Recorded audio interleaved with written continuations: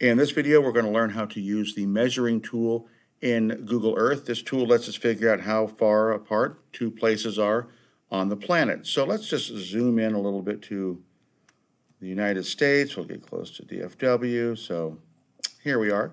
So if we want to figure out, for example, in a straight line, how far it is from Fort Worth to Oklahoma City, all we have to do is click over on the little ruler on the left side. We'll click that.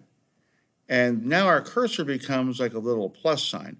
So wherever I click the plus sign, that's where it's going to start. So I'll click it right there on Fort Worth. Then I can drag my line anywhere I want to. I'll drag it over to Oklahoma, and I'm going to double click.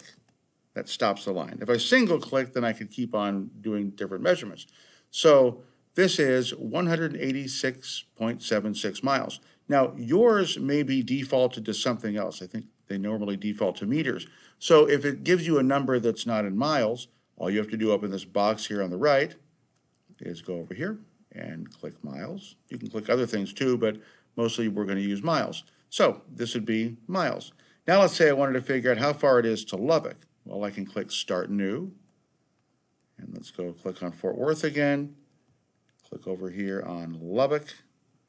Double click. It's 268.81 miles. So super simple tool to use. It's kind of neat because when you zoom out, you can do some things like how far is it from the tip of Florida all the way to Seattle, tip of Florida, all the way to Washington, and 2,607.54 miles. So lots of things you can do with it to figure out how far apart certain things are on the Earth.